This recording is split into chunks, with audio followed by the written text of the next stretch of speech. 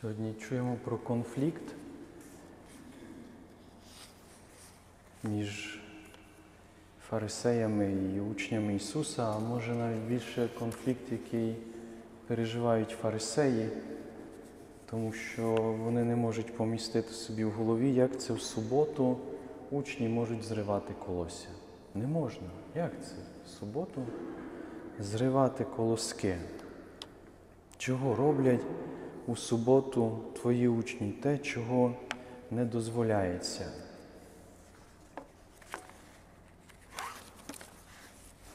І це така духовність, можна би було її назвати така рабська духовність, механічна духовність. Можна, не можна. Дозволено чи не дозволено щось робити.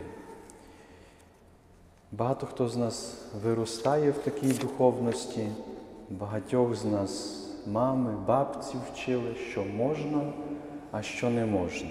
Я пам'ятаю такі сцени, коли моя бабця кричала сусідці, Іринко, низька не можна стирати.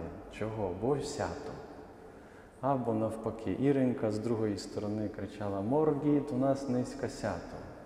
Це вже значить, ну, низько треба вважати, бо не можна щось робити.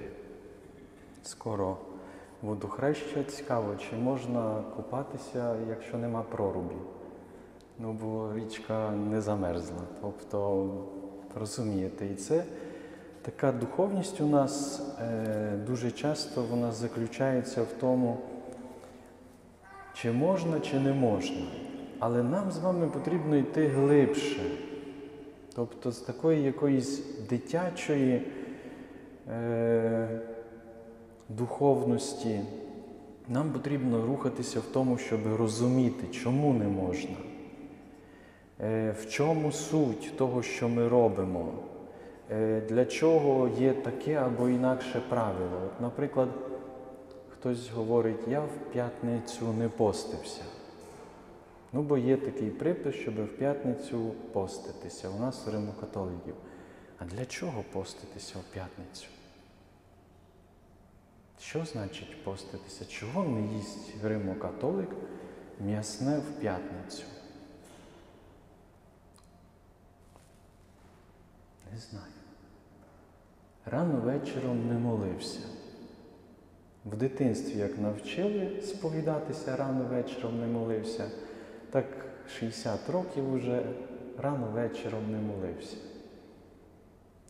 Або хтось сказав, що треба читати святе Писання, то в сповіді згадую, святе Писання не читав. А нащо читати святе Писання? Нащо рано вечором молитися? Ну так треба. Так вчила сестра Лідія перед першим причастям. Ну і добре, на початку дитину вчать, вона заучує якісь ритуали, але деколись людина, маючи вже 30, 40, 50 років, приходить, сповідається так, як коли мала 9-10 років. Якби людина може не розвиватися, тому що навчилася можна і не можна. А дорослість заключається в тому, що людина розуміє, розуміє, щораз більше розуміє, чого вона робить якусь практику, вона це приймає, засвоює як цінність, і вона робить вибір, що я це хочу робити. Я хочу цієї практики дотримуватися. Ну, Наприклад, візьмімо п'ятничний піст. П'ятниця це день, коли е, християни згадують е, смерть Ісуса Христа. Тобто це щось болісне, це пов'язане з жертвою, це пов'язане з кров'ю. Тобто можна до цього підійти як не їм м'ясне, тому що хочу долучитися до цієї жертви з двох сторін. З однієї сторони, я хочу долучитися, тому що це нагадує страждання, тіло, м'ясо, тіло, це нагадує якісь страждання. Але з другої сторони, раніше м'ясо це було свято. Тому, наприклад, угорською мовою пасхальні свята називаються можна їсти м'ясо. Гушвейт. Тобто гуш вітел. Можна їсти м'ясо. І ми в п'ятницю відмовляємося від того, що асоціюється нас із святом. Раніше м'ясо асоціювалося зі святом. Тому ми відмовляємося. Хоча у мене е, свято асоціюється з рибою.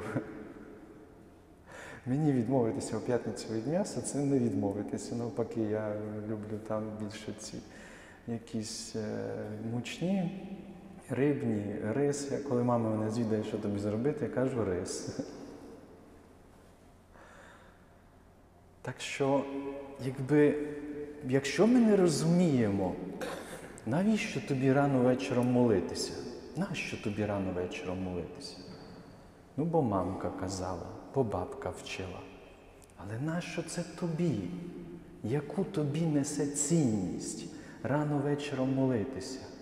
Якщо рано не помолюся, якщо я рано не порозважаю святе Писання, ну я відчуваю себе пустим. Я щораз більше е, таким приземленим в сенсі земним, є більш роздратований теж, якщо добре не помолюся. Людей менш духовно бачу. Навіщо мені рано молитися? Ісус, навіщо йшов рано молитися? Щоби поспілкуватися з Отцем. Тому що кожне рано це якби день, як життя заново починається. Кожне рано потрібно отримати це світло, насититися світлом. Для чого мені сьогодні жити? Для чого мені сьогодні жити? І я йду слухати від Отця, як мені сьогодні жити і навіщо мені сьогодні жити. Я прошу Його благословення, Його захист, але найважливіше, я хочу Його почути. Я хочу Його почути, тому я читаю святе Писання, бо я хочу Його почути. Не тому, бо сказали, що мушу.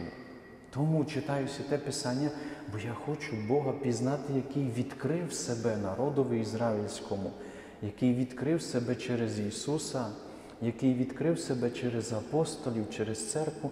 Тому читаю послання апостола Павла, бо мені, мені хочеться пізнати Його. Я коли читаю, я бачу, як я починаю розуміти, і я росту, я стаю не рабом, я стаю співпрацівником, я роблю вибір, я розумію, чому я це роблю. Я вибираю, і тоді, коли мене запитуються, чого ти сьогодні їш м'ясо, сьогодні п'ятниця? Тому що я сьогодні вибираю, сьогодні свято в людини, свято життя. Я йду е, на, на праздник і я святкую життя. Я подзвонив до настоятеля і сказав йому, що отче настоятелю, чи можна сьогодні їсти м'ясо? У мене є телефон, допустимо. Або, наприклад, церква навіть вчить, якщо ми розвиваємося, що можна в той день, у п'ятницю, іншу покутну дію зробити. Допустимо, це не Великий піст, це просто п'ятниця. Я десь в когось святкуємо день народження. Я тоді собі помолюся в той день хресну дорогу, тому що десь прочитав або в якомусь навчанні було. Це що я пам'ятаю, ти Сергій, я добре пам'ятаю? Добре, бо він у нас такий добре в цьому розбирається. Тобто є навчання церкви, є навчання, що можна одну жертву, наприклад, їжу м'яса, замінити другою жертвою, що я відмовлюсь сьогодні е, або в цьому намірі помолюсь хресну дорогу, тому що йду до когось святкувати день народження. Але для цього, щоб розуміти, що дуже важливо, що те, що ми і робимо, нам потрібно розвиватись з поверхневого можна, не можна, вкладати зусилля в те, щоб пізнавати. Наприклад, апостол Павло говорить, що ну дуже би прагнув, щоб ми виросли до зрілості Христа. щоб не молочком вас кормити, каже апостол Павло до своїх, своєї спільноти, але щоб м'ясом вас кормити. Щоб не постійно, ну ти вже ну наконець-то почнися рано вечором молити, але щоб вже був зрілий в Христі. А для того, щоб бути зрілим в Христі, потрібно вкладати зусилля, щоб пізнавати Христа. Наприклад, сьогодні, коли Ісус об'ясняє фарисеям ситуацію, Він говорить: а ви не читали в Писанню, як Давід зі своїми воїнами їв в храмі з того хліба, який йому їсти не можна було. Вони навіть могли не зрозуміти, що чого Ісус так, можна сказати, об'ясняє, тому що нам потрібно знати якнайбільше з історії, які описані в Святому Писанні.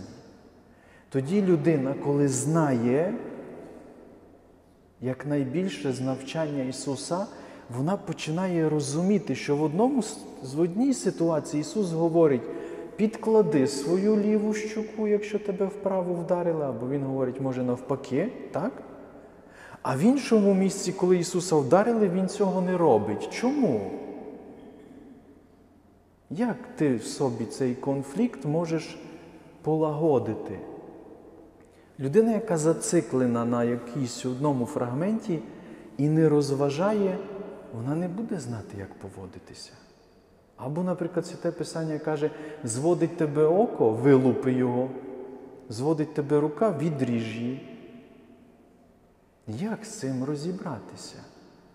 І тут, якби можна сказати, нам потрібно кожен день вкладати зусилля, щоб ми зациклювалися не на тому, що можна, що не можна, а щоб ми з вами вкладали зусилля, щоб зростати і навчитись зіставляти старе з новим і в різних ситуаціях відповідну поведінку. Ми тоді будемо знати, як нам поступати. Це процес. Знаєте, людина, яка вибудовує живі стосунки з Богом, там є такий механізм, що коли ми живемо в благодаті, ми будемо рости по-любому. Ми будемо рости. Ісус говорить про притчу, що коли засаджено там дерево, засаджено е, зерно, ти не знаєш, як воно росте, але якщо за ним доглядати, воно буде рости. Наше з вами завдання це доглядати. Це кожний день вкладати зусилля. Це в кожний день, наприклад, читати святе Писання не тому, бо треба, а тому, бо я хочу пізнавати. Читати катехизм, тому що я хочу зростати. Читати якісь духовні книги щоденно, тому що я хочу розвиватись. І нехай в цьому нам допоможе Дух Святий. Амінь.